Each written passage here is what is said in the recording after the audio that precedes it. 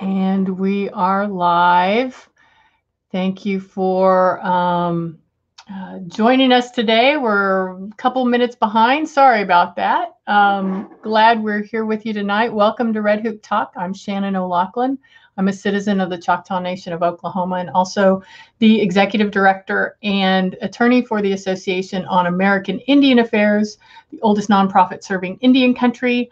Um, I am coming to you from the lands of the Piscataway people and um, wondering uh, uh, what everyone's going to be thinking about on uh, tomorrow on Martin Luther King Day.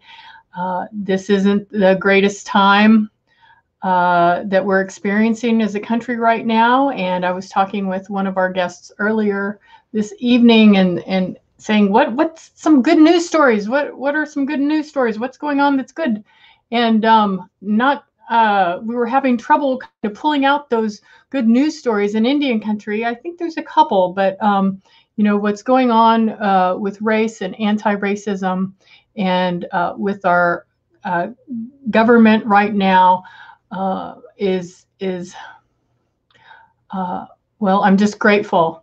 I'm grateful that tomorrow is Martin Luther King Day, and I hope we all take a moment uh, to come together and uh, think about where we would like this country to go.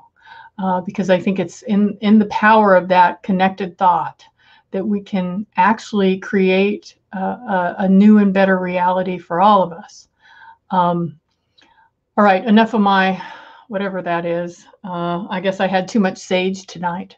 Um, but I want to tell you that Roy is not with us tonight. He couldn't join us because he had some family commitments pop up, unexpectedly. Um, but you know, that's what you, you know, when you have a blonde wife, that's just, you know, how it goes.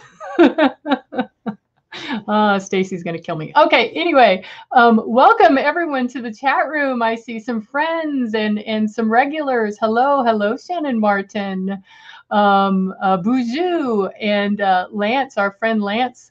Uh, in the Southwest, I think. I think Lance, that's you're in the Southwest still.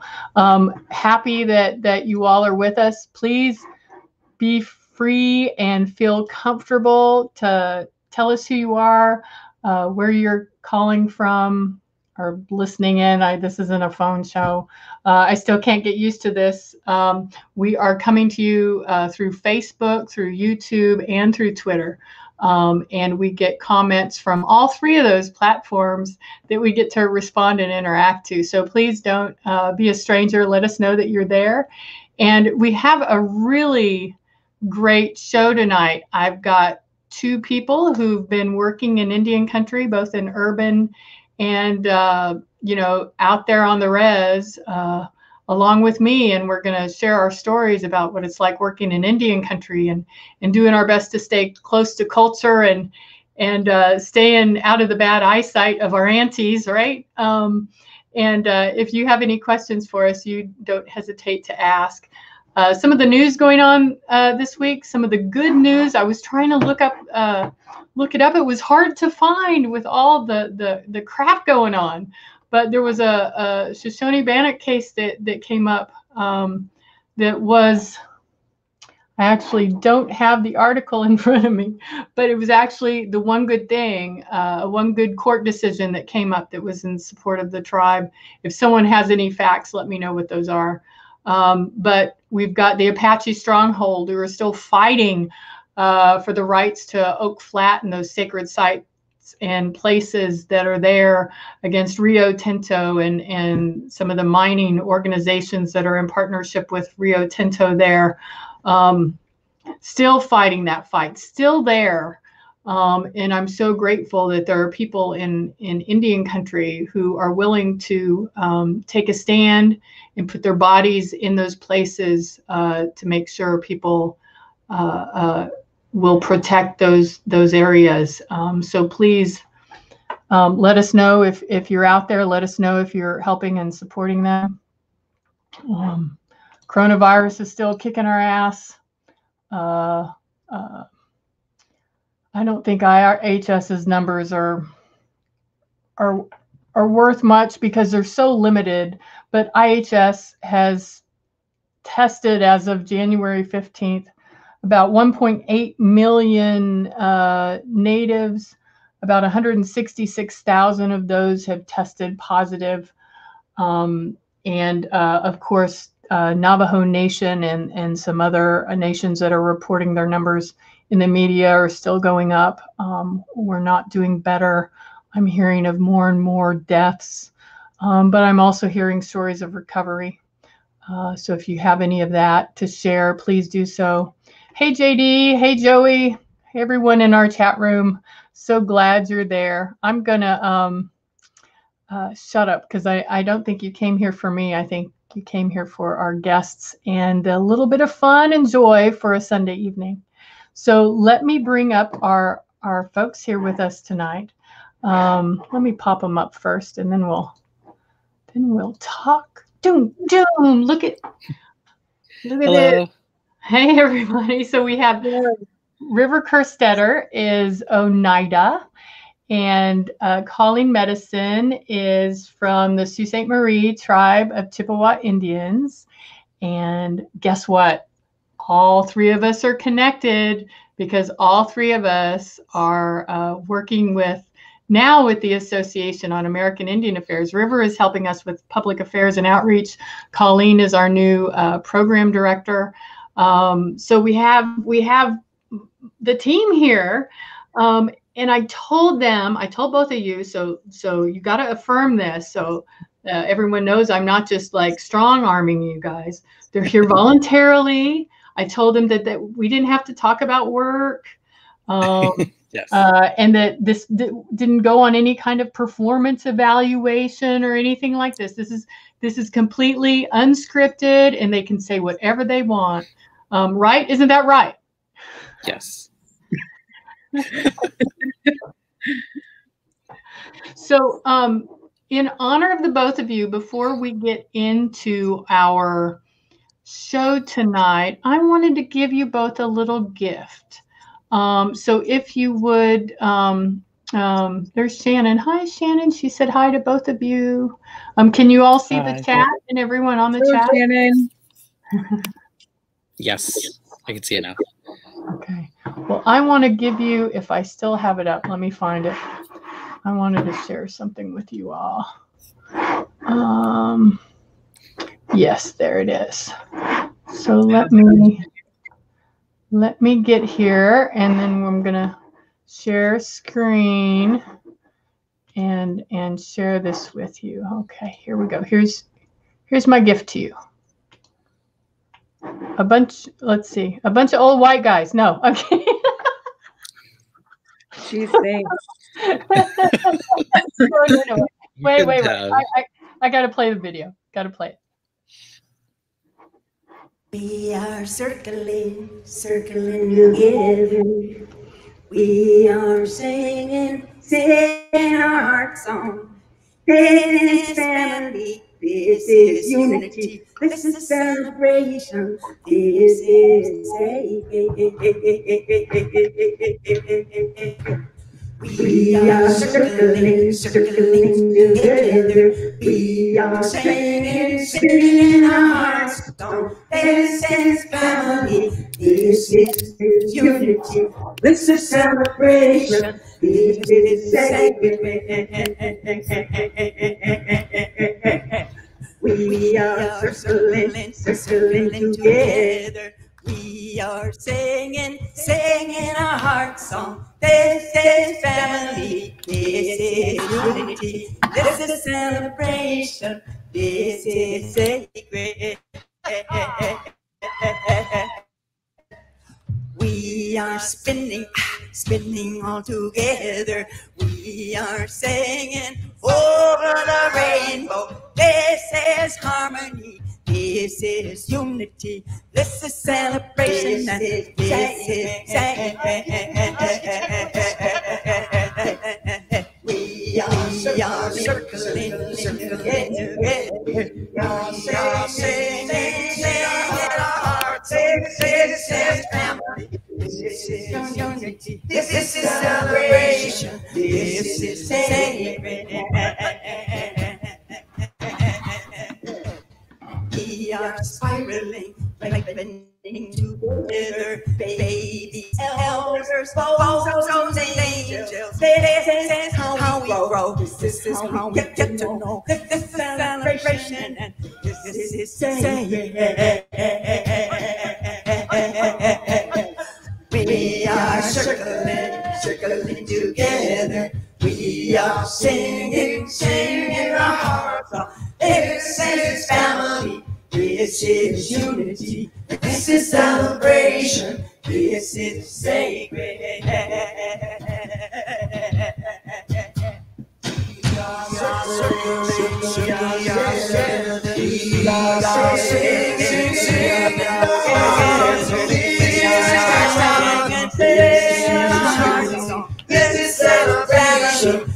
This is celebration.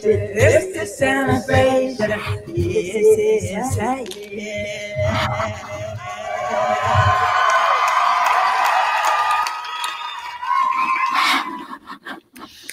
Hey y'all. Okay, Are we back on? Okay.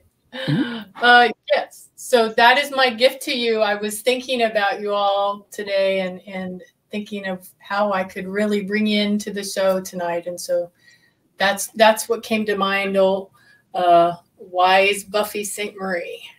Thank you. She's just the coolest person. Oh yeah. Oh yeah. Um, uh, you know, but but she's expensive to bring to the association. I have so I have to play her YouTube videos. But but regardless, welcome. Thank you for for joining us tonight. So so let's get into it. Like um, River Colleen, how did y'all? How were you born? How how did you get here? What happened in between? Um, where you come from? Uh, who wants to start? I could start. Um, so yeah, hi everyone. My name is River. Um, I'm a citizen of the Oneida Nation of Wisconsin, which is one of the three uh, major Oneida communities. Um, after many of us were uh, removed from New York, but um, I'm Wisconsin Oneida. Um, I grew up in Pueblo lands, what is called Albuquerque, um, and now I live in Potawatomi lands, what we call Chicago. Um, I've lived here for about six years. Um, yeah, and I'm I'm an artist. I'm a writer. Um, I hesitate to call myself an organizer a lot of the time, but I, I support a lot of organizing in Chicago um, and organizers. Um, so yeah, that's that's me. Um, I'm sure you know there's there's more to say, but um, Oh, we'll get into the. What'd you say? I said we'll get into it. Yes, we'll We'll get get into it. But that's my that's my quick intro. And yeah, I'm excited to to be chatting with y'all tonight. So Colleen, tell us about yourself. Well, uh, Miigwech, uh, Shannon, and River, uh, Ani, Bujo, Wapshka Sinikwe, Indigenous Cause, Sagana, and Donja Ba, Bawating Dada, Danja Bomkok, Makana Minising, Mishiki and Dodam, Ojibwe, Anishinaabe, Kwe, and Dow. So, good evening, everybody. Uh, my name is, my English name is Colleen Medicine. Um, what I said in my introduction, my spirit name is White Rock Woman. And um, I uh, was born, my heart first sounded in Saginaw, Michigan, but now I'm here um, in what we call Bawating, Sault Ste. Marie, Michigan. And uh, my my people come from uh, Mackinac Island, Michigan, and I'm Turtle Clan. So I'm coming to you uh, tonight from the UP of Michigan um, here in Bawating lands. I'm Ojibwe and Anishinaabe, and um, uh, I grew up in St. Ignace, Michigan, just a little ways down the road here. So I've been all over the UP here. Um, it's interesting always working with um, uh, people like Shannon and River because they're um, used to bigger cities and bigger places. And I live um, in this little tiny place in the UP of Michigan. So um, the Anishinaabe have been here since time immemorial. And of course, um, so we uh, we are here in Anishinaabe Aki in the UP of Michigan. So that's my introduction. I'm happy to be here tonight and looking forward to some good discussion. miigwech, and miyu. Ooh, thank y'all. Thank Um, you. All right. It's funny Colleen. I'm Turtle Clan too through my grandmother. Yes. Oh my clan relatives. I love that. I have to be careful about that because my family were called deer killers. So like I can't I gotta be careful that nobody's in the deer clan. or they may not like me right from the beginning if I tell them that. so so you all have you all have um I'm trying to I I want to know about the commonalities and also um the differences. Um River, where did where were you? You were raised in uh, Albuquerque in, in in New Mexico area. Your Yeah. tribe is your tribe is uh, Oneida, Wisconsin. Um, and so, what was that like for you to kind of be separate? When did you go back? Um, Yeah. Yeah, so I so my family ended up in um, just outside of Albuquerque um, because like of a lot I always trace it back to my grandparents' journey um, on my dad's side. They um, my grandma is Oneida, my grandpa was white. Um, it was the 40s, so they uh, got out of town when they decided to get married. Um, and I can only, uh, you know, imagine the reasoning for that. But they um, s- were in Connecticut for a while, and then um, my grandma decided to study traditional pottery, and so they ended up in New Mexico. So she partly, uh, so she could meet other native potters there because there's a lot more uh, potters in the Southwest. Um, and she also went to um, the Institute of American Indian Arts. So that's kind of what drew them there. And then, you know, my dad was born there and then, or not born there, sorry, but he spent most of his childhood there. And then I was born there. Mhm. So that's kind of how I came to be in New Mexico. and then, yeah, I mean, growing up, it was this um, my you know, my parents, my family, my grandmother, um, really instilled like a sense of pride of being Oneida, even though we were distant. Uh, and I'm really grateful for that um, because I always felt like a, a connection. Um, but yeah, it was, I mean, it was weird at times, you know, and growing up, I had a lot of questions of like, well, you know, what does this mean to be so far? Um, from our from our homelands in in New York, and then um, you know also our community in in Wisconsin. Um, uh, yeah, I didn't really go back a lot um, until I was an adult, and I said, "Why have we never gone back?" Like I've always wanted to go back, and I didn't really. Uh, it didn't occur to me as a kid that I could like ask for that, you know. So as an adult, I was like, I okay, I'm going back. So started visiting my grandma more as an adult, and um, it's partly why I like Chicago because it's just a, a couple hours from the res. It's like a four-hour drive. Right. um, and to Lance, who just asked me red or green, um, which is a common New Mexico question: red chili or green chili. I am a Christmas person. I like both um, at the same time. Uh, but yeah, so yeah, um, so yeah, I was just saying like I uh, part of why I was drawn to Chicago is because it was closer to the res, Mhm.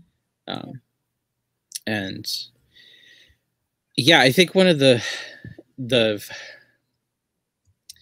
I don't know if it's like funny or just kind of was surreal growing up was like I was surrounded by indigenous culture in New Mexico by Pueblo and you know Apache and Navajo culture. Um but like so I felt like kinship you know to to you know our peoples.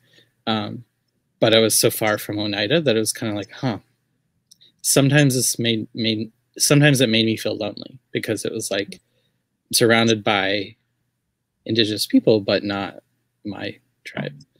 Um, and so that was that was I think weird, you know, looking back, like that was a, a unique uh, perspective that has really made me value community now and being closer to my Wisconsin family. So, so did you yeah. feel in but not really in?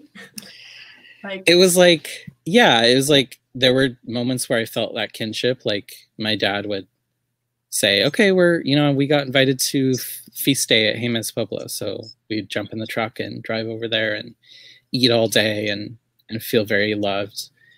Um, there were other times where I didn't feel like I fit in because, um, you know, kids in high school would be like, you don't look native.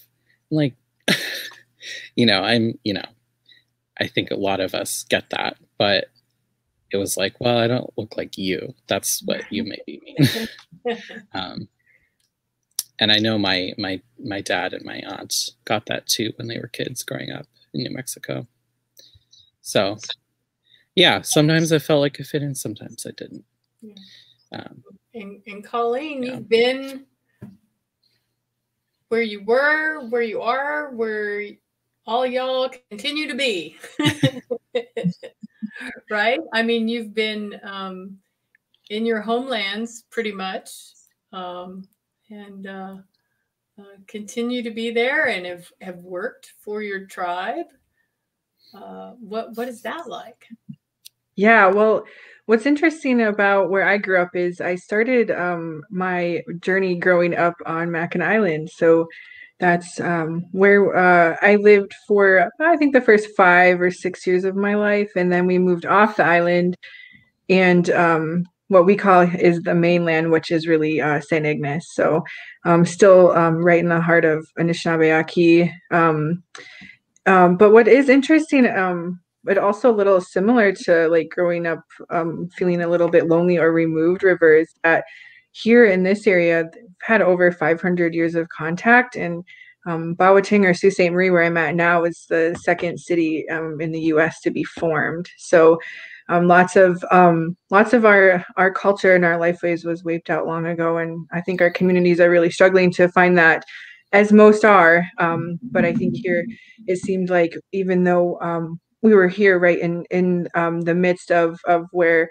um, the Anishinaabe art, still felt like um, we didn't get to grow up with as much culture or traditions as I think we would have liked. And um, so that I've been kind of on my path to to relearn those things. And as um, uh, Shannon Martin likes to say, uh, reactivate those things. Mm. I love that. I always say the three R's: reactivate, repatriate, and revitalize. So Mm. Um, on on my path, um, I found myself um, in college, and then found my way back up here um, to work for my own tribe. And um, when I was a child, everyone wanted to know what I wanted to be when I grew up, and I said, "I want to work for my tribe." That was my dream. It was that was it. Just I wanted to work for my tribe, and so when I graduated, I came back up here. I did a small stint in our education department, and then I moved over to our cultural department um, which is uh, now our language and cultural department. So I've been working there for collectively, I think, about eight years, and I did a small little um, stint at our Intertribal Council of Michigan working on an opioid, uh, perinatal opioid grant, and then went back over to the tribe. So done a little moving around and um, but always working in Indian country. So that's been my passion. I think since I was a kid, I wanted to work for the people. And so um, that's kind of where what led me to, I guess, at this moment. So, yes, yes, it's amazing. Uh, oh my gosh, my head was going in ten different directions, and now I've, I'm forgetting which one I should I should go down next. um, uh, it's interesting that you talked about. Uh, uh, can you say it again? The re reactivate. Reactivate, right? Um, I had an elder um, that you know people would come to him and, and say you know i want i want to get back on my path. I uh, my my mother my grandmother was in boarding school or um, you know i live in the city now. I'm not back in, in my home and i need to get back on my path. I need i need to you know get back involved in ceremony. I need to do all these things. And he said well first breathe First, breathe. and then the second was you have no matter where you are you have everything you need within you Mm. all you have to do is remember it's in our dna it's there right and so that would always help me no matter where i've been you know whether there's concrete walls or whether there's just you know uh, grass and land um, that i'm connected no matter where i am right everything Mhm. is is from from the earth and and i just have to remember i just have to remember um, that i'm still part of the earth no matter what the earth looks like in that place right Yeah. so i really like to reactivate and um, and uh, add my remember into that um, Mm. and then i think we got a good bumper sticker I, that reminds me of um, in Here Here by or There There by Tommy Tommy Orange. Um, we're gonna just call it he- here here from now on Here Here. Oh God, I hope he. here, here. I hope he's not watching. Wow. Um, but you know, he talks about like the city being the land. You know, Yeah. which sounds so obvious, but I think being in a big city sometimes I, I need to remember that that everything, every it's all the earth. You know. Mhm. Um, and that also reminds me of something that I recently heard someone say. Um, I was in a workshop about Haudenosaunee and uh, Anishinaabe uh, food systems and food traditions. Um, and someone who um, was a fellow Haudenosaunee um, said, like, that from from her perspective, uh, our ancestors always made do with what they had.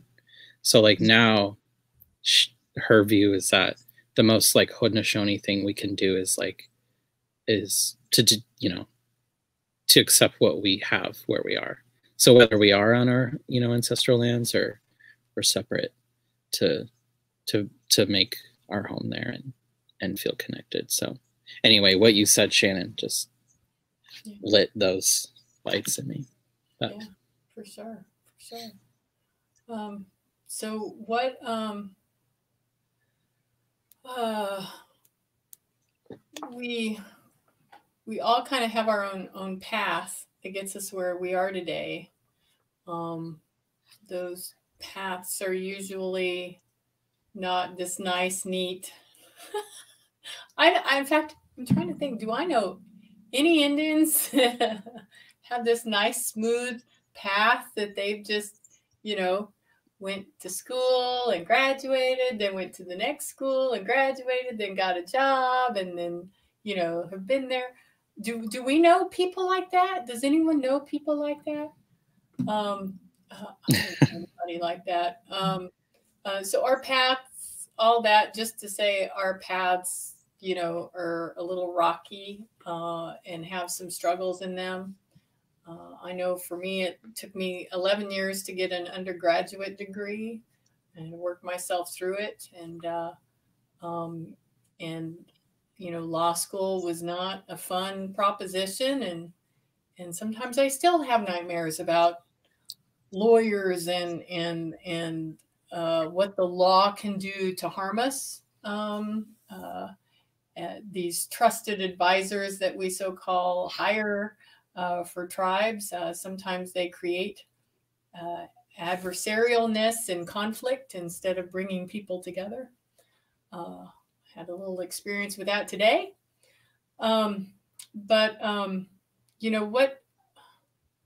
What has y'all's path been like, and and and where did you want to take it? Like, where do you where do you want to go? Uh, how do you want to?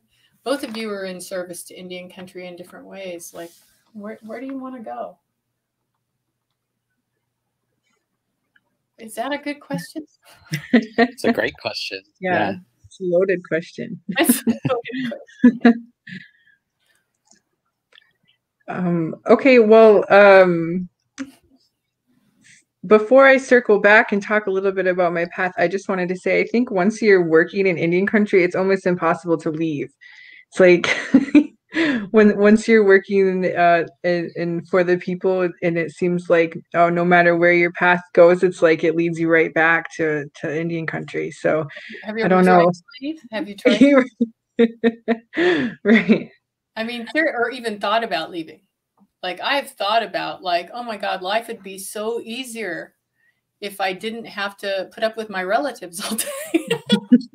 I mean, like you're you're constant, even if it's not your family, there's still this element of of of relationship that's different than if you just go, you know, work and put in your eight hours and then go home. It's it's it's different um I- I've thought about what am I?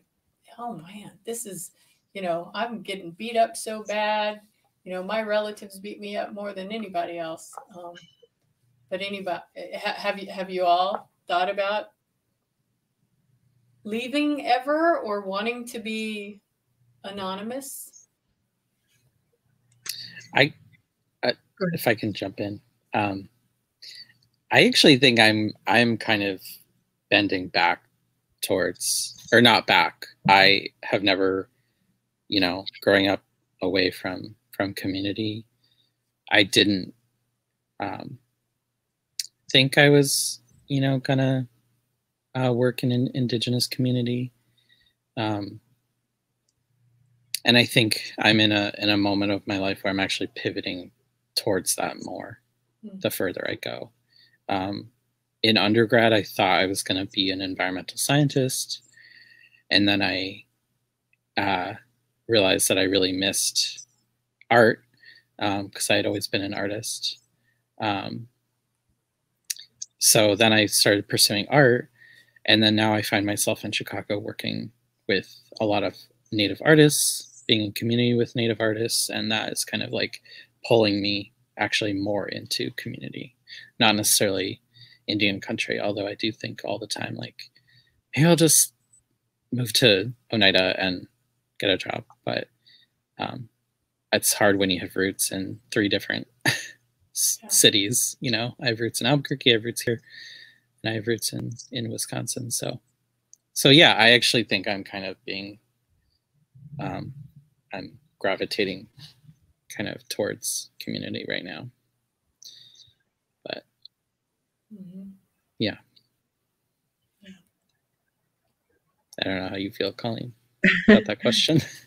Yeah, well, I I think it, uh, you know, to be honest, I think yeah, I've I've definitely thought about um leaving this kind of work many times. I think we all have those impossible days that um you're getting beat up in the arena by people who aren't even in the arena fighting with you and um it feels really lonely sometimes and um you know, I've thought about it. I have, I have friends who, you know, were were uh, making more money and doing better than me many times and i thought geez i might be in the wrong field. But you know the, to be honest i think it's what fuels my heart is working um, for indian country and um, you know i think it I always circle back to this work because for me it was always about the people never about myself and um, and even when i tried to leave it kind of pulled me back. So i don't know that i have a choice. I think the ancestors are are uh, behind me kicking my butt back back where i'm supposed to be. So um but, uh, but honestly i think do whatever fills your heart do do that Yeah, exactly, exactly. So how did so so what's your what's your y'all's rocky paths to um where you are today? Well, yeah, like I said, you know, I I entered undergrad thinking, oh, I you know, that I want. I was like, very at that moment, I felt very compelled um, by um, what is happening to our planet, you know, um, and that is was definitely instilled in me by uh, my whole family, my native and non-native family and so I went into environmental science, and then I just something was missing. I I was like good at it, but I was just like this is doesn't feel like what I'm being called to do. And then I for a while was trying to double major in art and science, and uh, the University of New Mexico just made that pretty much impossible to double major in, in those. Um, so I had to pick, and I I just went with what felt right, which was art, and because that's who I was making connections with, and um, that's what was pulling me. So then I thought, okay, I'm gonna be an artist. This is just what I'm gonna do. Um, and then now, like eight years later, I I am an artist. I I guess, um, but uh, you know, I knew I wanted to move to Chicago at some point. So I applied to grad schools here in Chicago, ended up uh, getting into one. Um, and I think that was a very sharp bend in my path because uh, I I was the only native person in my whole program. Um, and when I asked, like, does anyone know any other like native people at the school? People would be like, oh, well, Frank Waln went here, but he just graduated, so he's not here anymore. Like, okay, that's not helpful. Um, so that was uh, interesting three years. I grew a lot and I made a lot of good connections with folks, but it was a an intense period of like figuring out like where I didn't want to go. That makes sense. Like, did not. I knew I didn't want to play the the uh, fine art game and and try to sell my art to rich people, which you know works for a lot of artists. There's there's nothing wrong with that, but I just knew, you know, that wasn't my path. So I think since grad school, I have really found it important to like just be in community and working with people, whether it's um, whether it's like easy easy to explain as like oh this is an art project or whether it's a little bit more fluid um, that's kind of where i've been pulled right now is um, collaborating with with community and making art for for us you know? Um, that's not always easy. And it's certainly not like a um, pre-packaged career that you could just unbox and have a great salary and you know smooth sailing. Um but it yeah it's where i've been pulled right now. So yeah. Yeah. And i'm grateful um though because chicago does have a beautiful indigenous community. Um, of course like indigenous people have always been here and then there's also so many people from all over Yeah, the world relocated- here Yeah, relocated Yeah. in the fifties, and so native Yeah. families um, there for a while. Yeah. yeah Um, Colleen in the UP. Uh, yeah. Um, well, before I start, I just wanted to say, River, I really, I was thinking about how awesome um, your relatives must feel about how um, you said your your grandma was an artist too, and now now you're an artist. It seems like um, they must be really proud of your family. Thank you. Um, yeah, my cousin Hoka is an artist too, so we're definitely a an artist family. Yeah. That's awesome. Yeah. Um, yeah, so I grew up in the, the UP of Michigan, um, where the air hurts your face um, like seven months out of the year. um, uh, yeah, I have a sister, um, and um, I was fortunate to grow up with my mom and dad, and um, pretty um, normal childhood. Although, um, when I went off to college, I was like, um, I was committed to my undergrad. I was in and out in four years. I signed my major and my minor the first month I was there. Like I was there for it. I was very committed. I wanted to get that done. Um, in a lot of ways to prove it to myself, but to prove it to a lot of people who I felt like doubted me along the way, especially as a kind of a young punk teenager who, who didn't, it didn't seem like I had a, a future ahead of me at that time. So I was really committed to like uh, proving You were- everybody You were a young punk. I want to hear that story. I was waiting for my mom to chime in and on the comments and say, "Yeah, she was." I was, uh, I was uh, fiercely independent and um, and uh, loud and and uh, really committed to the things I cared about. And so I think that well, I think that that's probably something my entire life that I've either struggled with or has been either a, a good thing or sometimes a bad thing. So, um, yep, I was a young punk and uh, went to went off to school and did my undergrad in just uh, four years and um, and uh, my mom says, "Oh, the stories." yeah. Tell us, Mary. and, uh, you know, I did normal things that I think a lot of us do. You know, just um, being a punk and just you know dabbling in drugs and alcohol and just doing crazy things in college and um, and when I came back um, home and I started working for my tribe, I was still a young punk and um, I had a I had a teacher, um, uh, someone who I I just have so much respect for, um, who taught me a lot of what I know, and his name is uh, Mr. Cecil E. Pavlat Sr.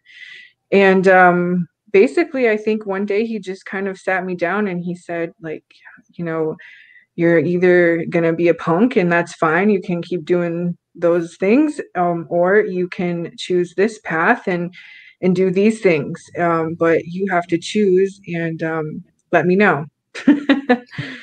Um, and I always appreciated that um, because I I wasn't doing the right things. And so um, he gave me a day to think about it and i showed back up the next day and i said you know what? I want to i want i want this path. And i've kind of been on this path ever since but i you know if i don't i don't know where i would have been if he hadn't kind of kicked me in the butt and sat me down and had that conversation you know because i think it's so easy for some of us to go go a different path because you know a lot of a lot of our communities are are in a bad way and there's lots of people taking those paths and it seems easy sometimes um, so yeah and then i've been working um, i did a lot of years in repatriation and historic preservation um, and uh, then like i said i was working um, with moms and babies with a perinatal opioid grant that I was working on. And then I went back to the tribe as the director of language and culture. And um, so I've I've done a lot of uh, a lot of different things, uh, all the way from the doing maintenance and uh, everything in between. So I've I've done a lot, but I think um, I'll, like again, always circling back to you know that um, that I knew that this path was for me, but I I really didn't it was definitely not a linear straight path for me. Definitely struggled along the way and um, had a lot of traumas and just you know like I said, drugs and alcohol, different things going on. And so I'm I'm happy to sit here today um, in, in, this way and be confident and, and um, thankful that Spirit guided me to this path. So thank you. Yeah for sure. Shannon uh, Martin has a question for all of you. Um, I'm saying you too. What was the defining moment in your life when you heard your blood memory? Mm. It's a very good question. That's a great question. Wow. For me, there were a lot of different yeah. different points. Um, you know, every time my grandmother sat me down and and told me stories about the really difficult things that she had to go through just to be alive. Um, you know, digging, um, you know, um, running away from abusers. Um, and so many other things that that I don't want to share. Um, and and then she would always end it, and um, and um, I went through all that so you could be here, you know. So every time I had one of those talks, um, that that blood memory would would hit me. I I had to do something with it, and all I know knew is what she told me was to just go to school that's I didn't know what I was supposed to do except help our people. What that meant, I don't know what that meant. Um, I just know that um, how I took it to mean was so that other people didn't have to live in the same in the same way she had to.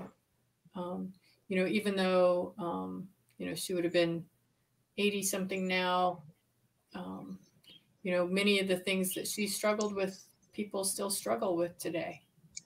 Uh, you know, so um, I'm supposed to help that somehow. So that blood memory thing, I don't think ever goes away. You get those pangs ah to remind you uh, why why you're here, but, but that's where mine came from.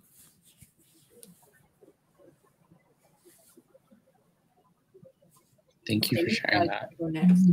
Yeah. Beautiful. Yeah.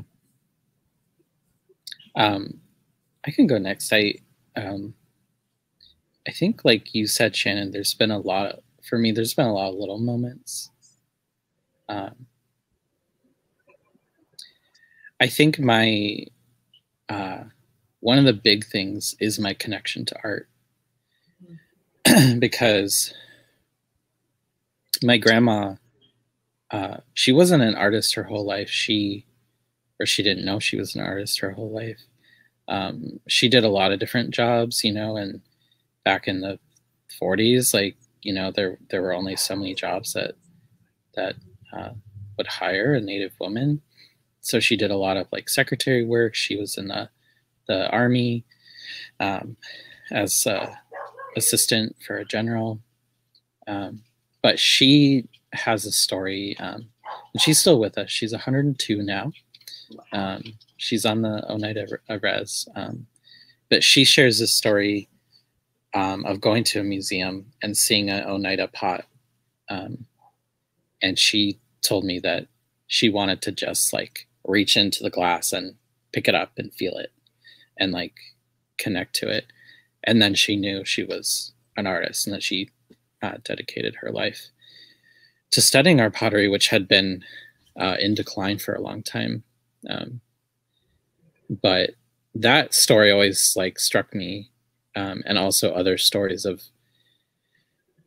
what it means to be an artist in in our in many of our communities. You know it's more than a job it's storytelling and healing.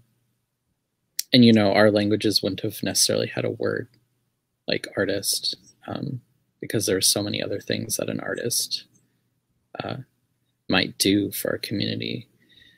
And i think that coming to that like understanding of like you know in in our culture like there is a place for artists and like an important and honored place for storytellers. Um, i think that really was like okay i i'm i'm an artist. I'll answer that call you know because there were a lot of moments in college where i was like should i just do something that is going to like pay my bills and you know let me come home at five o'clock every day? Like maybe but that you know i think there was a moment at some point where i was like oh like this is you know this is like this is calling me. Um so i think that was kind of a big big uh thing for me. And it was just in all these little moments of like you know talking and being with my grandma and also just learning more about our history. Um and for me i'm not a potter but um in grad school, I uh, used a printing press for the first time, and that was kind of my like shock moment of like I touched it and was like, oh, I need to make art on this. Um, and I and I still love printmaking. It's it's like a full body dance almost. You have to move with the machine, and you're it's very choreographed. Um, and you know, our like a thousand years ago, we maybe didn't have printing presses on Turtle Island, um, but I think like that connection to the body and and to movement um, is has been like I just I just love that.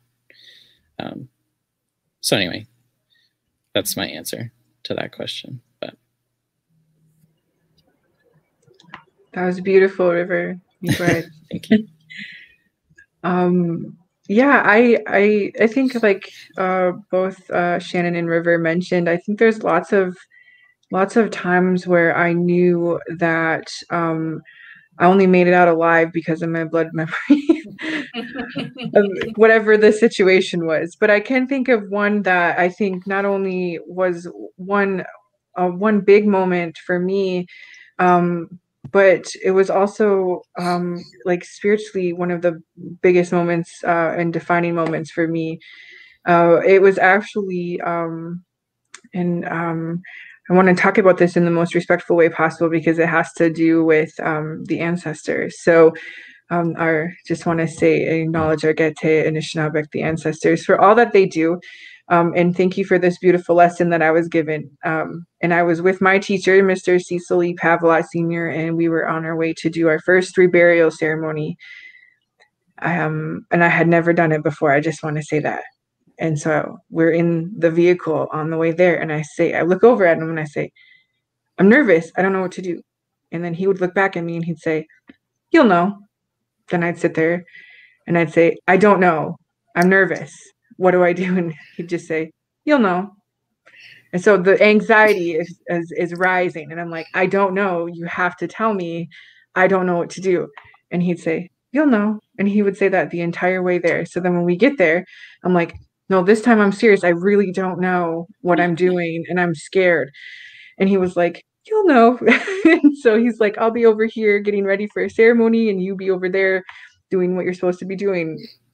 And I was terrified. I was scared. I had never done that before, but um out of nowhere, it just something I just I started speaking the language to to the ancestor that was there and um at that time I was still really a beginner in the language and I didn't know much, but I was spitting out every word I could think of and um, really trying to to do my best for that ancestor. And um, turns out I I knew what to do. So he was right. I did know, but I was I was scared. I was shaking in my boots uh, really really scared and so that was that was uh, probably one of my big moments of okay you know i'm right where i need to be because it's like the ancestors will communicate with you you just have to listen and pay attention and, and see how how they're going to communicate with you so that was one of my big ones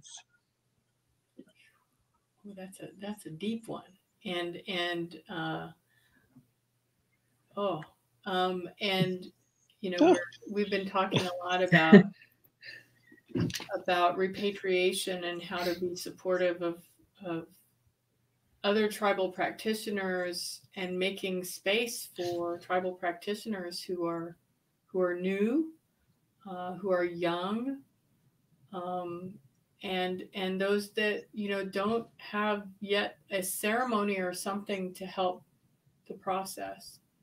Um, so I'm so glad that not to get off topic um, but so glad we have you at the association to kind of um, help us with that and make sure we uh, support tribes in the in the right way with that work. Um, yeah. There's a, a, couple of folks on in chat that, that have been asking y'all some questions here. Um, and JD has one for, for you, River, um, that makes me think about, yeah, that makes me think about not just the direction of native art, but also um, uh, also your experience in how you express yourself in native art, which is not necessarily what what other people think is is indigenous mm. native art, and we were talking about this before. Yeah. Um, yeah, I mean, I think in the art, there's kind of the art world, right? Like the New York, LA kind of dominated like art world. And then there's like all the native artists and there's some over you know there's some overlap there of course. And then there's some you know non-overlap. Um so i i think there's a lot of different views on this. I think going back to what i was saying about like the haudenosaunee way is that we we uh we give thanks for what we're given. Um, you know, I I was given a love of printmaking, so I feel like that's my like I need to follow that. Um, printmaking and writing. so like I have never really worried too much about like that dichotomy between like traditional and um, contemporary art because it has always felt like if if I'm a native person, you know, whatever I'm making is native art and um, not to simplify it too much, but yeah, and I think I of course I've had like the question of like, well, should I be like maybe studying pottery like my grandma, or should I be, you know, learning um, an older like art form? Um, but when I was starting to study printmaking, I started asking my teachers because I was very good at this. I'm in school um, almost my whole life of asking where were the natives.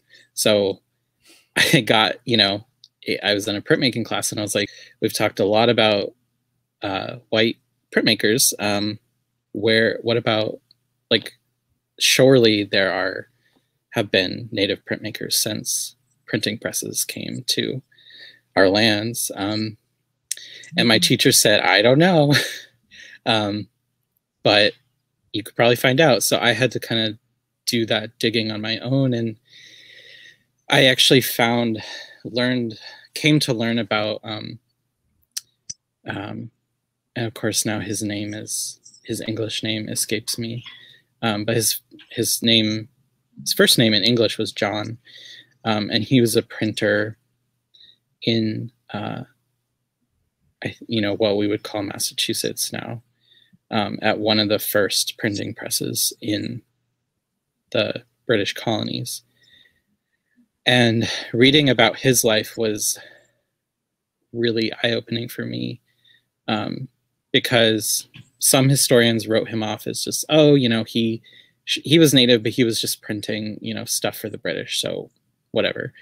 Um, but when you really look at his his life, um, he was putting his own native perspective on what he was doing. Um, and he was helping translate things into uh, his um, his language, and of course, you know the politics of that at that time were probably complex. Um, but it seems to me that you know he was he was standing in his own truth in that field, in what have you know, I imagine could not have been an easy thing to be the first native printmaker. Um, but anyway, he ended up um, the last thing that he's known to have printed is a flyer that was basically um, saying "f off" to the British during King Philip's War. So in the end, he did like use his art um, and his like knowledge um, in in to say, you know, like you can't erase me just because I, you know, you taught me your um, art form. So anyway, I don't know. I feel like I'm rambling a little bit, but that was learning about his life and thinking about, um, you know, what it means to bring your own um, history and identity and experiences to to art um, has kind of guided me so yeah, I don't I don't worry too much about that distinction between like traditional and contemporary art. I think you know our arts are evolving all the time, and it's important to look back at where they've been, but to also know that we're not stuck there. Right, and, so. and the idea to think that we are somehow only a culture and only a people if it's static yeah. And our culture exactly. is static and how we do things are static. Mm-hmm. Uh, I mean, I, I, I don't want to say that for people to think that that we don't want our items back that have been stolen from the past. Those are important for us to continue forward, right? Mm-hmm. Yeah. Um, but our, our cultures and our people don't remain static. Our languages don't remain static. There's a um, uh, comment or a question to you, Colleen from JD. Can you comment on the loss of language keepers and elders since since you're working with language? You've been talking about language and and and what that's been like. And and can I share something with you real quick, Colleen, before you get into that? Sure. I, I had this conversation with this old academic um, who had been studying languages and was extremely smart. And, and he was just grilling me about the loss of native languages. How can there even be natives without a language? And look at the losses. No one's bringing these languages back. I mean, really, there's this idea in academia and other places that our our languages are just like dying away every day and I don't know that that's true or not because what I see is I see tribes that have been able to rebuild their language, reinstitute um, language programs. Um, I'm sure. I mean, that's not how all Indian country is, but do you have some insight with with the work that you've done in, in language and culture for for your tribe? Um, what what that looks like, and respond to JD's question. Yeah, um, thanks JD for that good question, and thanks Shannon. Yeah, um, I think I think most of our communities are in similar situations. I think we've definitely seen a, a massive loss of language, and I used to kind of buy into that. Um, we have to, um, you know, bring our language back, bring our language back, bring our language back, which to me sounds like it's gone. Uh, it's it's been gone and so um, i kind of had to retrain my mind um, the last like probably like two years and and say things like reactivate remember revitalize because our language isn't lost while a lot of our language keepers have passed on and a lot of um, our dialects have changed because our instructors are changing and we have instructors coming from other locations to bring language to our communities where we don't have uh, people who have that knowledge, right? Things have changed and evolved. Um, but our language is still alive, and I know that because I've I've witnessed our children uh, say words in our language. I've I've I've been around, um, you know, children who are retaining language at uh, much better than I am. Um, and even with myself, I remember I always just say I'm a, a lifetime uh, Anishinaabemowin language learner, but I remember um, when I only could could use two words, and and then I remember maybe when I could use you know a lot more and and now i can i can communicate pretty well um, and understand uh, fluent speakers or or um, try to hold um, a conversation with really small sentences. And so I, I can see the the the evolving um, kind of journey of, of my language um, abilities. And so i know that it's possible.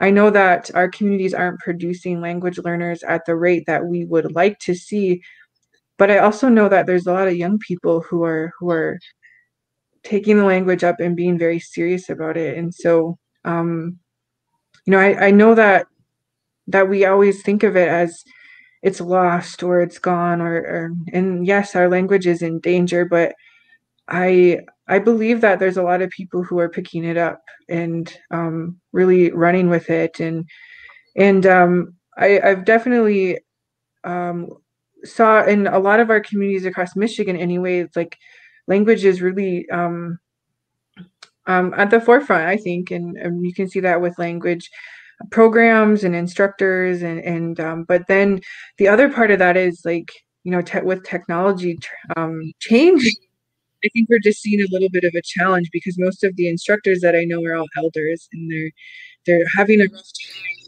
to um, to learn our new ways of technology. And so we gotta we gotta give them a little break and, and meet them halfway and and um, help them help them to teach us in a good way um, but also recognizing that they they struggle too with this technology. So um, yeah, I, I think that we have to be concerned about language and we have to make it all of our mission to learn language. And um, I know I'm rambling, but I want to say one more thing. I I remember a time when um, this I was at a ceremony and this gentleman from Canada, and I apologize because I don't remember his name.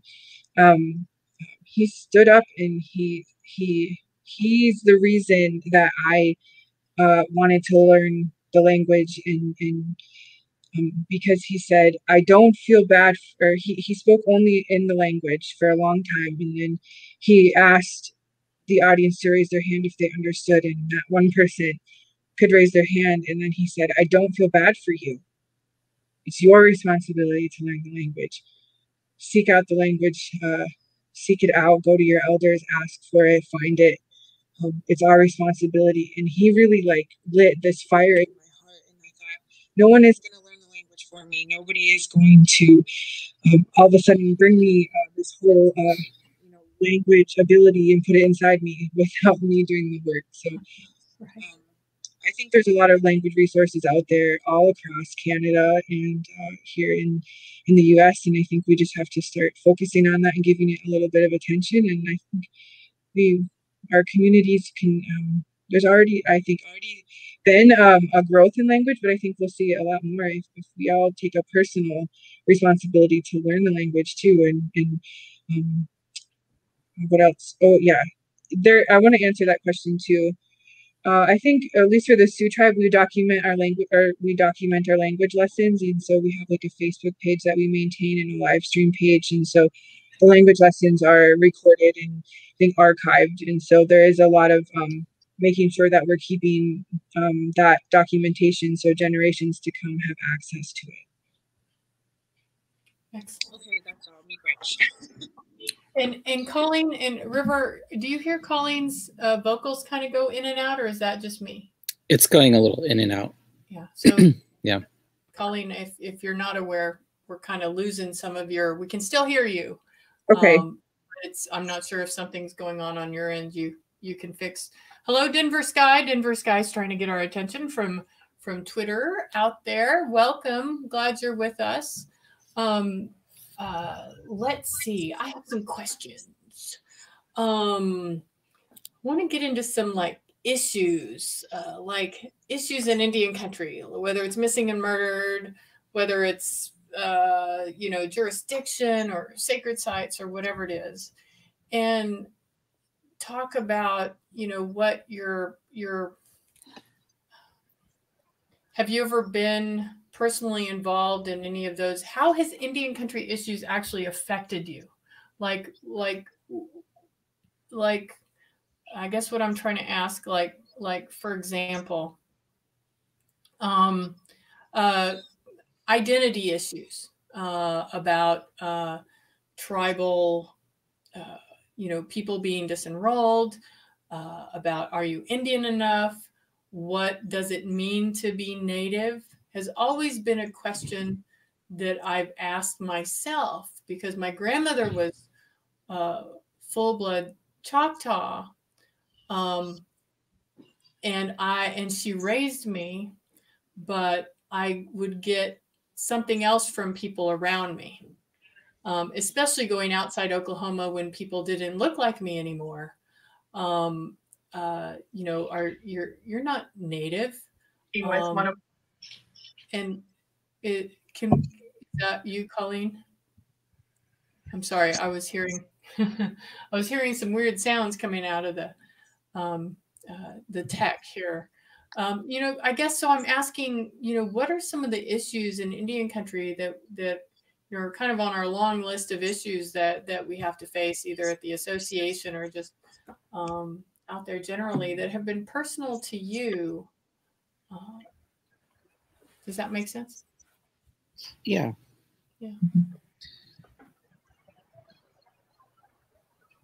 I got to think about that one for a second. I think we'll play it's some. a big like, question. I don't have a drum. You know, we need Roy here to to sing for us. um. Well, maybe I can I can jump in and not to not to speak before River at all. Um, no, you can go. Uh, well, I know. Um, so my dad actually uh, was part of the boarding school era. So him and his uh, siblings spent quite a few years at Harbor Springs uh, boarding school. And so growing up um, in our house, while I feel like there was tons of love and, and I felt loved all the time, there was also some some things, right? Some things that I don't know that my dad was ever able to heal from. And I think um, definitely um, could see intergenerational trauma play out with my sister and I. And um, so I, I remember um, not understanding as a child why um, my dad didn't like certain holidays or he didn't like to do certain things. Um, or he he seemed like he was angry, right? He and um, I never quite understood that um, until I was uh, well, about into my early 20s. So I never could um, understand, I guess, like, um, you know, why he acted that way. But um, I also knew that that kind of thing needed to, to end uh, um, with me and my sister. So I think that um, I was really able to have that conversation with my dad and and talk to him a little bit about his experience and let him know that I understood why um, certain things were were the way they were. And um, after he, my dad passed away about three years ago, and after he had passed, um, I actually learned more about his boarding school experience from from his siblings um, after the fact, um, after he'd already passed, I learned a lot more about it, and and now even today, so many things make a lot more sense um, about why he was the way he was, and and some of the things that have played out in my life, um, and the things I see playing out in my sister's life, and um, unfortunately, even down to my niece, my sister's daughter, and how that intergenerational trauma that we hear about all the time, right? We're hearing about it in Indian country, where we're talking about it we're having these conversations but i know that firsthand i see it in my own family and so um, i think that's one that's really you know it hits home for me and it's really personal just because i can definitely see it you know playing out firsthand with us so yeah Yeah. thank you Yeah. i i mean that goes back to what sophia on facebook said a, a few minutes ago about us being you know the seventh generation um, after uh, you know a lot of that ancestral trauma. Um, and this is actually Colleen that that's the same issue that i would say is the biggest one in my life is boarding schools.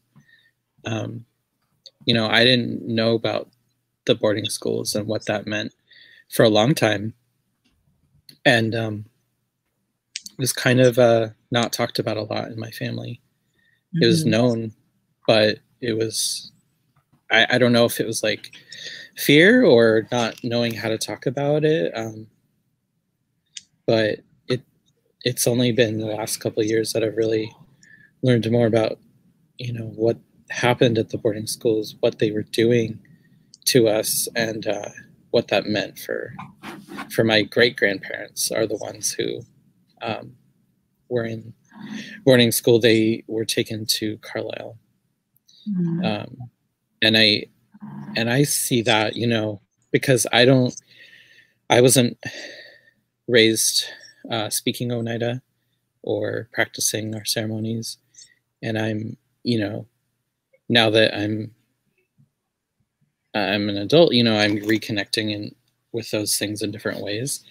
Um, but it was, I mean, like like you were saying, Colleen, like understanding what the boarding schools meant helped me understand a lot of of why, uh, you know, my grandma doesn't speak the language and why my dad and I don't speak the language. Um, and and also, you know, after my great grandparents uh, came back from Carlisle and started a family, they sent my grandma to not a not an Indian school, but a boarding school, and then come to my dad's generation, and he and his sister, uh, my aunt, um, were also sent to boarding school. And me and my aunt have talked about this. Like, it just was what my family knew of, like, you know, of okay, you know, if if things aren't working out in uh, school or you're having trouble, like just go to boarding school and that'll fix everything. Um, and it was my my dad's generation who was like, no, we can be done with that now, you know. So I think that that is yeah. So Colleen that speaks to me too a lot. Mm. And Yeah. yeah, just been thinking about that a lot lately. Yeah. I don't I don't know of too many Native families who haven't been um, uh, damaged somehow by boarding schools. Uh, and of course, we know that there's the National Native American Boarding School Healing Coalition. We've we've had a couple of folks from there on our Red Hoop Talk show to talk about boarding schools. Mm-hmm. You know, my, it's the same way. My my grandmother would walk into a room and all the adults would stop speaking Choctaw because um, uh, they did not want um, their children to struggle uh, with being burdened somehow by their culture, by being different, um, mm-hmm. uh, because of their boarding school experiences. So uh, that's um, there's legislation that uh, and, and River, maybe you're uh, uh, closer to this than than I am. there was some legislation put forward. I think Deb Haaland and um, Elizabeth Warren, I think, co-sponsored it, and it was about um, truth and, and reconciliation and, in boarding school healing. Uh, I think uh, Shannon Martin may know a little bit about that too, and and uh, uh Shannon Martin was on our show uh, with Tiger, um, her wife, uh, talking about what they're doing at Saginaw Chippewa with the with the boarding school that was there. Um, uh, this is such a big issue, um, uh, and I'm glad you all raised it. Um, it's it's it, it's it's the same way. It's it's it's an opportunity for healing, but it's hard to get there because you have layer upon layer of of of hell to have to work through.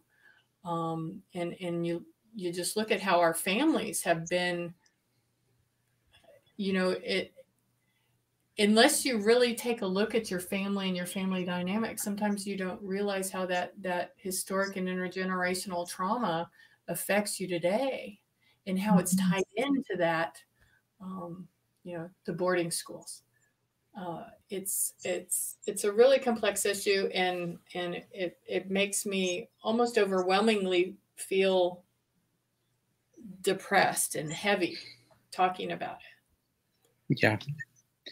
I I um I appreciate what you said just said though, Shannon, about it being an opportunity for healing, even when it is hard.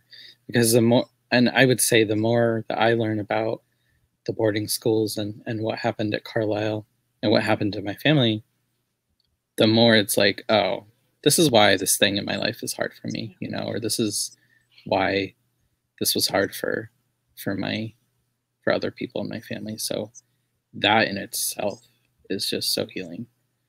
Um, wow. Yeah. Just, just think of all the opportunities that we have that that generations before us just didn't have. Like our grandparents' generation didn't have the opportunity to just go on Google and Google the National Native American Boarding School Healing Coalition or the Association on American Indian Affairs or anything else. Yeah. And learn about these issues and go, oh, hell, or get on a language program from wherever they are. I mean, uh, or freaking listen to a YouTube show with a. yeah, uh, we have so many more opportunities to heal today than those that came before us. Mm. Yeah, I really think that um, I I try to uh, operate in that way, just reminding myself that you know we we are the the prayers, right? We we're the product of so many prayers before us, and so many hardships, and so many um, sometimes even some of our ancestors paid with their lives. So I always try to operate in that way and remind myself to to be a good ancestor so that um, those coming after us um, maybe they don't have to do as much of the hard stuff or maybe they they'll have more language uh, maybe they'll have access to things that we didn't or um, won't have to learn as many of the hard lessons so i always try to operate in, in that way just thinking back and what my dad went through and what um, those before him went through and just try to to think of how I might be able to keep that in mind as I do my work. It makes me feel a lot better about what they went through if I if I try to do something that I think would honor that. Yeah, for sure. For sure. And I not to change the subject. I guess I'm not changing subject to build on the subject. I um I think about that too when it comes to being uh, someone who is queer and native, um, because like growing up, I didn't have other native folks who were LGBTQ or Two Spirit, um, and now I'm very thankful that in my life I do have Two Spirit folks and queer folks and trans folks. Um, and I've been able to learn about, you know, people who came before us and with being queer, it's almost like another form of lineage of like that isn't um like biological, right? It's like spiritual, spiritual lineage. And so I feel very grateful that I've been able to to learn about like what our queer and trans native ancestors went through before us. Um, and also, uh, and that really drives me similar to what you're saying, Colleen. Um, I want to be a good ancestor to young queer and trans Native folks. Because um, you know, I was lucky. Like you know, my I have a very loving, supportive family, but I didn't have a lot of like context growing up. Like I was like, I don't know any Native queer people, so I guess you can't be both. You know, guess I just have to pick one. Um, and I don't want. I I hope that my work as an artist uh, can like tell those stories and yeah, be a good ancestor to to the next generation for sure. Yeah. I just you, yes, thank you.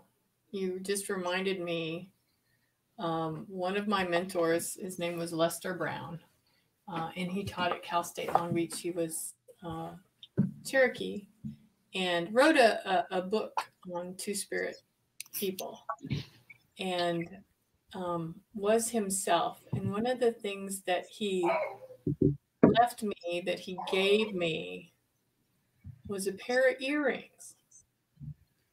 And I just realized listening to you, River, that those were his earrings that he gave me. It just now connected that what he gave me was was his earrings. And I don't know why that never hit me. I mean, that to me, that that that's an important part of who he was that he often didn't get to express. Mm. Right? It was something that he could wear only sometimes. Um, and um, and I still have those. Um, wow, that was a that was a weird little thing that came to my brain. I don't know if that if that um, he's saying hello yeah yeah uh, yeah, and we should we should probably do like a jewelry competition here. Let's see what we what we got and what what do you got going on over there, uh, Colleen? I see your I see here. I'm not seeing what's at the end. Okay, it's a whole it's a rope. Beautiful. You've got you've got yellow, yellow. Oh uh, yeah. Those is that beautiful? Oh, I see it. Okay. Oh yeah, yeah. Those are my new favorites. Uh, River's got some. Uh, she's a Christmas present. yeah, and you know the longer the longer the earrings are, the the wiser, stronger woman you are. So I'm I'm hoping to channel that. Yes. yeah. I don't know what I'm channeling here. I'm trying to be Superwoman. Yeah, I love that. Yeah. Me too. The first time I saw, um, I think I was at Gathering of Nations in Albuquerque, and the first time I saw um, a young person uh, dance in like Superman themed regalia, I that would just like gave me so much joy. That memory, because um, they obviously felt really powerful in it. That's cool. Yeah. That's very cool. I wish I had a picture of that. That's awesome. Yeah. Yeah, I think I've appreciated superheroes more as an older person than I ever did when I was young. Mhm. There's so many amazing uh, native comics now, Oh, superhero comics coming out. Oh yeah. Um, and there's a whole there's Red Planet Comics in Albuquerque that just sells native comics now, and they host yeah, and they host uh, native Comic Con. I think. I mean, not not in 2020. They didn't obviously, but um, they did in 2019. Yeah. Oh, wow. Anyway, Yeah, well, we've got to move this. We gotta we gotta talk about something funny here. can't it can't be too much of a downer. so so um uh uh tomorrow's Martin Luther King Day. Uh Martin Luther King Jr. Um uh and I'm not sure uh, what's going on in, in in your city river and how close you are to um, the downtown area. Colleen, we don't have to worry about you. You're off in the in the UP. Uh, Right. but are you are you close to anything? Is there any concern or, or safety concern where you are for the inauguration or other things that are happening? oh, we'll see in Chicago. I mean, our capital is Springfield. I don't know if there's going to be protests in Springfield. I don't know if there's going to be stuff here, but I feel pretty safe. I, I have a strong support system that we navigated, you know, the very different protests this summer and some of the the pushback that those got from the the city government. So not sure what's going to happen this week in Chicago, but I feel pretty safe. Yeah. Yeah, I, I, I, uh, a lot of stuff is coming out out here about the uh, Capitol Police and how they actually were allowing uh, the rioters in uh, and taking selfies with them, um, letting them come in with guns, um, and they're being investigated. Uh, but there's all sorts of. Uh, you should have saw, saw, a map of the Washington D.C. area with all the roads closed. So there's it's almost impossible to to get anywhere. I think in Mm. DC this this week, um, coming on inauguration, and um, uh, it, we're we're living in a really uh, unique time, and uh, we'll hopefully soon have a cabinet member who's native. Uh, so what does uh, what do you think that will do? What do you think that effect that'll have on on the work we want to do to support Indian country.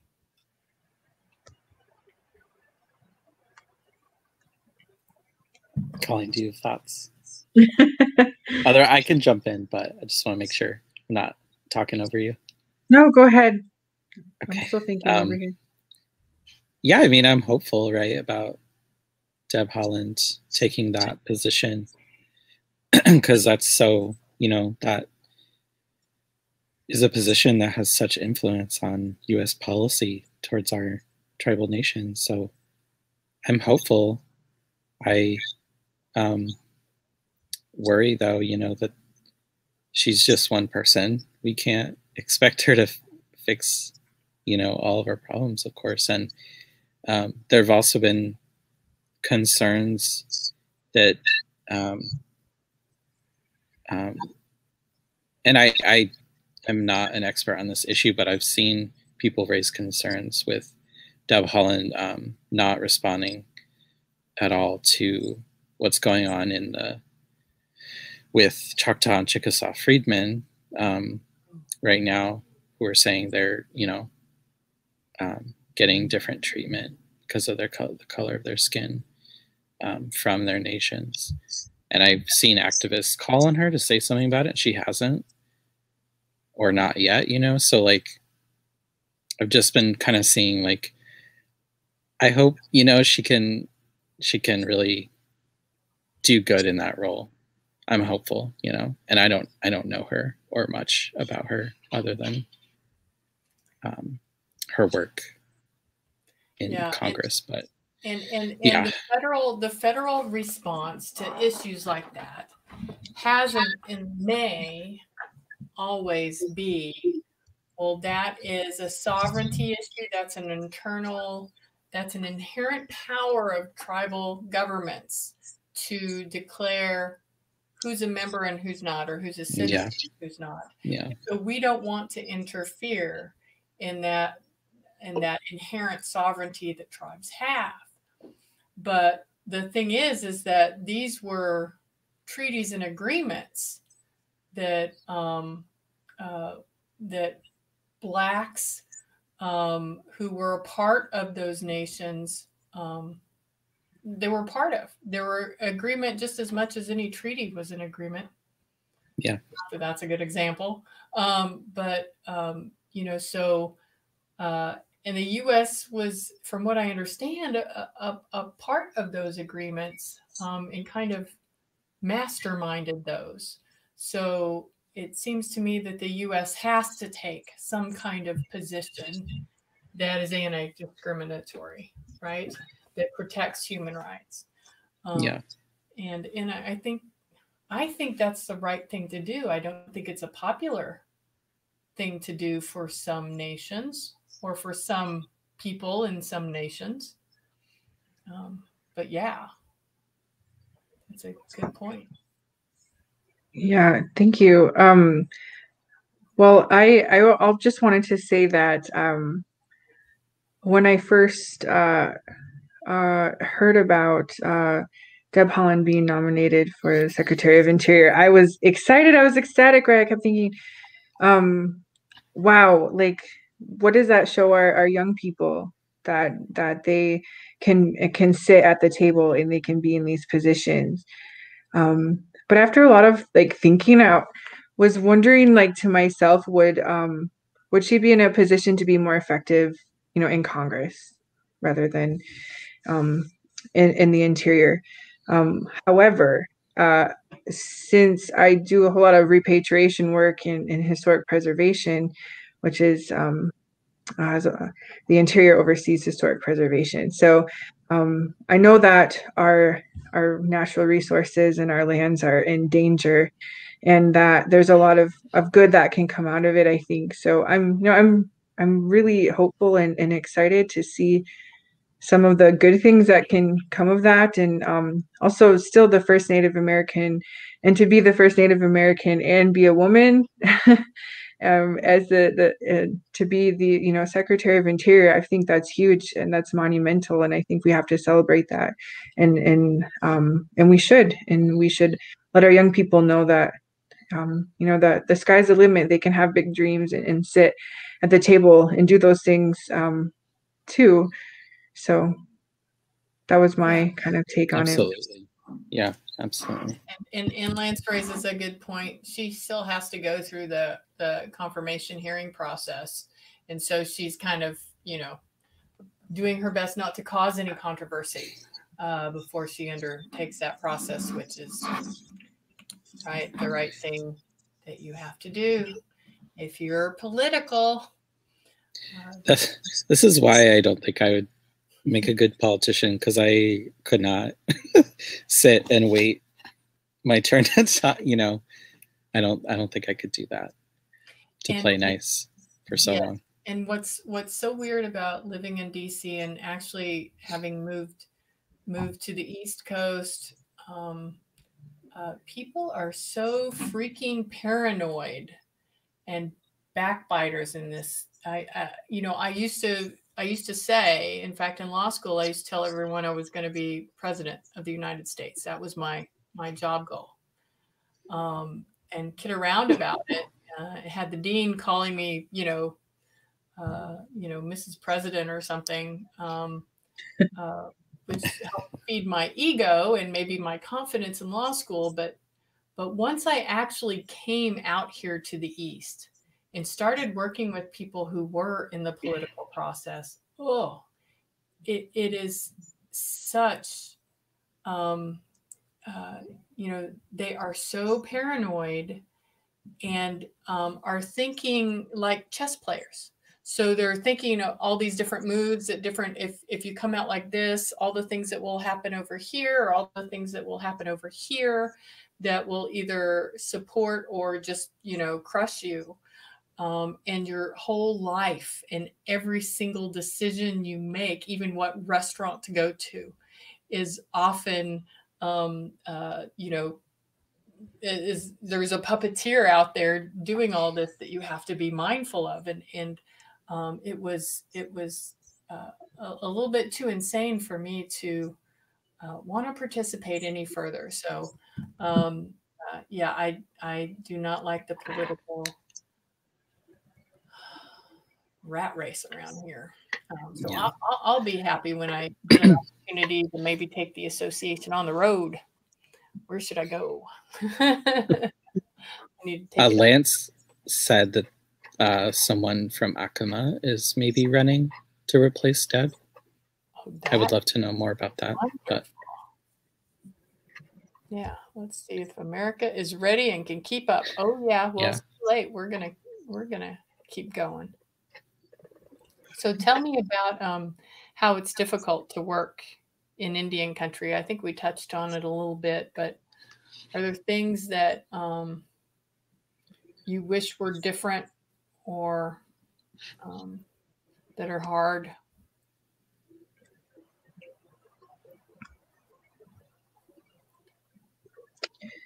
Yeah, I think that's a great question. Um, and you know, I think almost feel like it's um something that has been hard for me working in Indian country, but I think it's just hard for me wherever I go. And I think that has a lot to do with um, feeling like um, I'm uh, I'm always just uh, how do I always say this? Um, I'm I don't necessarily look native. so let's just get that out. Uh, I think that's really hard because I think there's a lot of lateral violence that like exists in our communities. And I think sometimes that's really hard to work when you're just committed to like the the work and committed to to working um, for Indian country and and you're committed to just working for the people.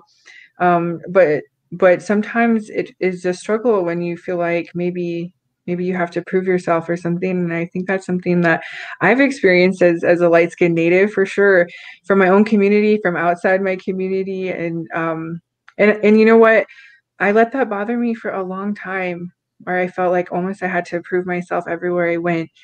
Mm. Um, mm. and and I felt a little bit like maybe I didn't fit in, or or maybe I shouldn't go to that ceremony, or I shouldn't show up to this place, or maybe I shouldn't go and dance, or maybe I shouldn't sing, or whatever it was, right?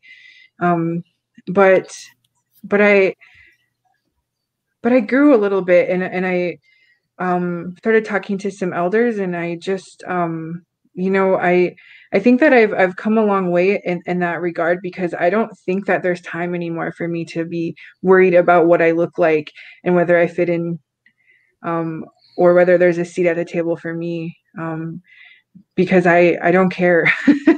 I'm committed to the work and and I know where I come from and I learned a lot about where I came from and that made me feel so much better in my heart and my spirit to reconcile um, you know my my family ties and where we come from and to know like i come from a very sacred place. And um, i don't i don't necessarily care if if i look native enough for for anybody because i'm still going to be there fighting for indian country and um, and i think sometimes that's just something we have to say in our communities and start empowering our youth. There's a lot of our young people who are struggling with identity and and and we're not having this larger conversation about about the the the way that we all look different and we're all different shapes and sizes and colors and, and that doesn't make anybody less indigenous or less native.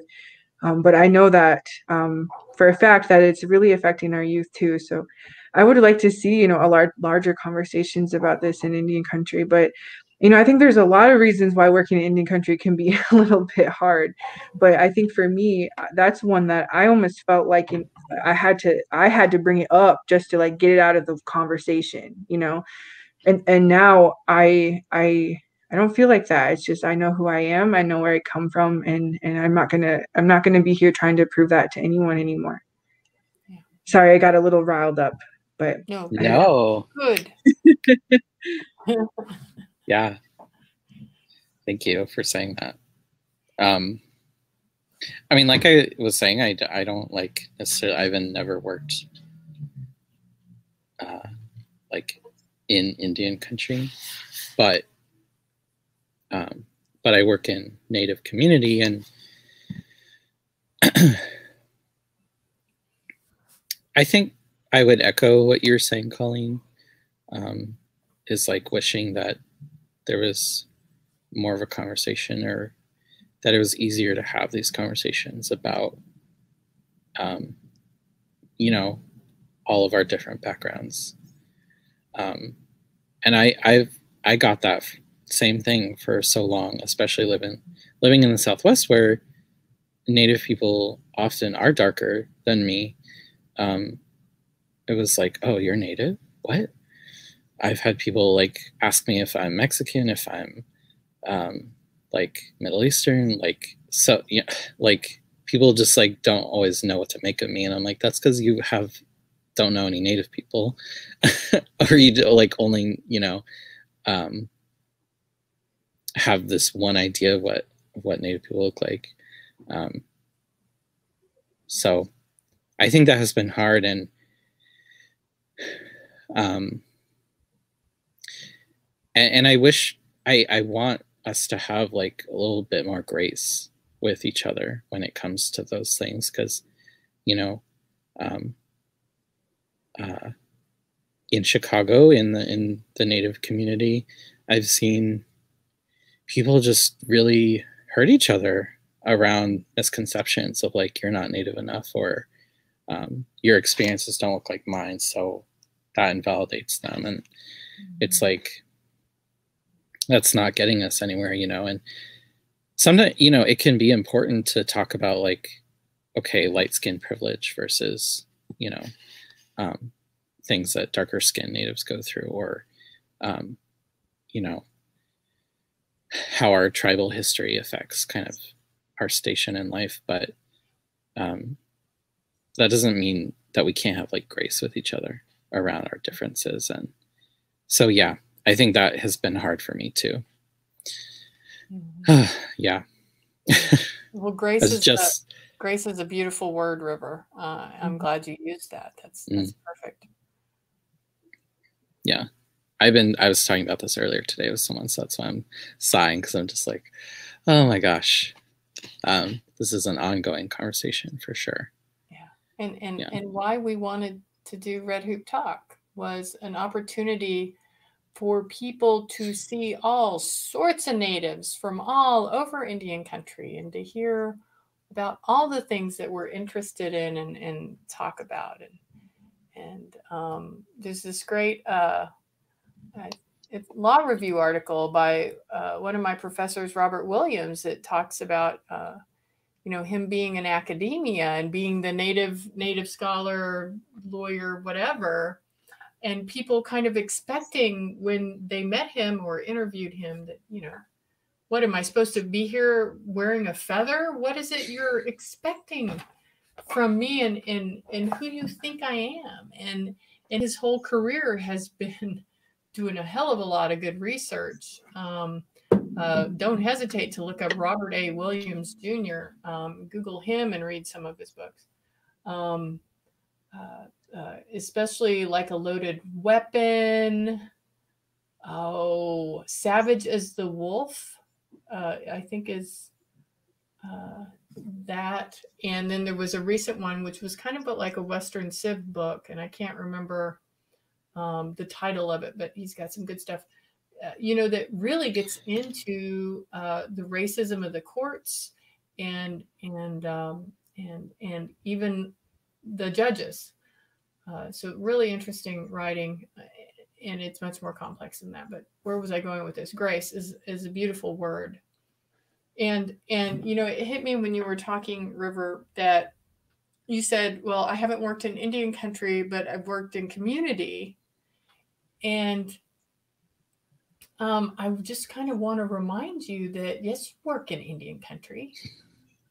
You reminded us that that Chicago was uh, the original homelands of the Potawatomi.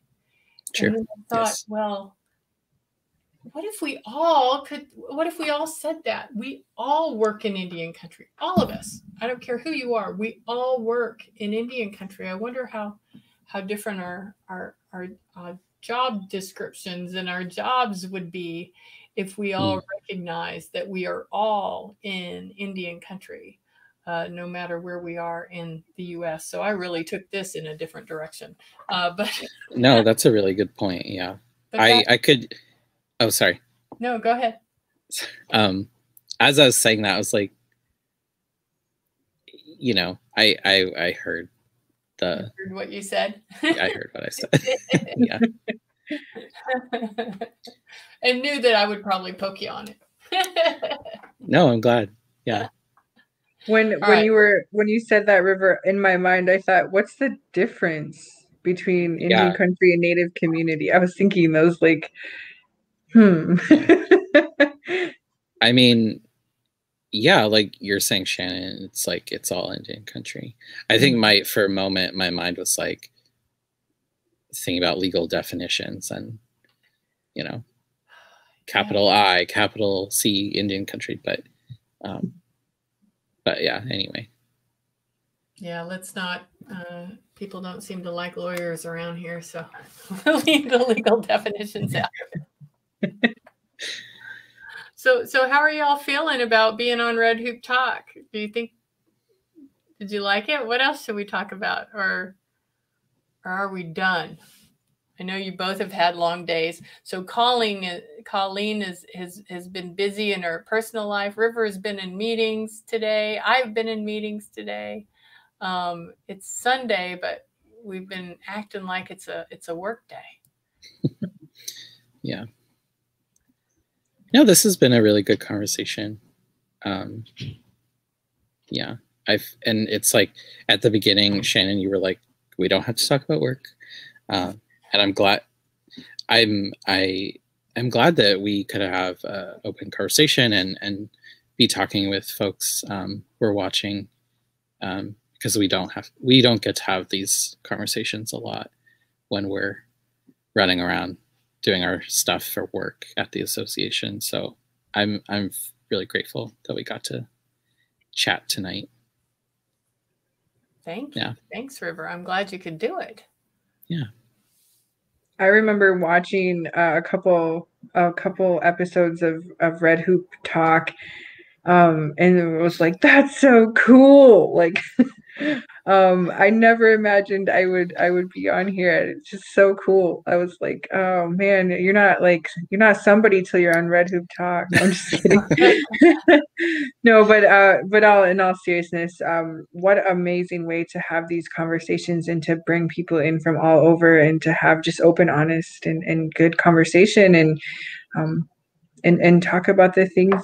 And you know it's really hard for me because i think um, whatever i'm doing for work is a lot of what i do anyway personal life or just um, so it's hard for me to to separate those things but it's been really um, really nice tonight to just talk about whatever has come up and, and respond to some of the chat and um, really um, i love talking about issues that affect indian country. I could be here all day I have to share this. I probably shouldn't. I'm not sure I know what that means. yeah, what does that mean, it's traditional A. oh. A. Yeah, that's what that means. That means A. oh yeah, thanks, Lance. Um, uh, oh hell. So, um, well, y'all are probably off tomorrow, right? I'm not making you work tomorrow. yeah. I am. no, I'm saying yeah. I think oh. we're off. Okay. Last I checked. I haven't sent you any emails. Uh, um, uh, let's see. So we're off. We're gonna contemplate um, about and hopefully send some good thoughts about uh, what's happening in our world. Uh, and I'll invite everyone to join us in on that. And um, next week, uh, we're going to have, um, I had actually last week's Red Hoop Talk show thought that Deborah Yepa Pappan was going to be on this week's show, but she's actually on next week's show. So, uh, Deborah Yepa Pappan, Colleen, do you know Deborah? Yeah, I, I think that I, I do. Okay, so I think We've yeah, I been in- think in- all three of us know Deborah. She works at the field. Yeah, she worked Mhm. at the field, and her position is um, uh, she is she's not working on repatriation efforts. Um, Is it community engagement or community?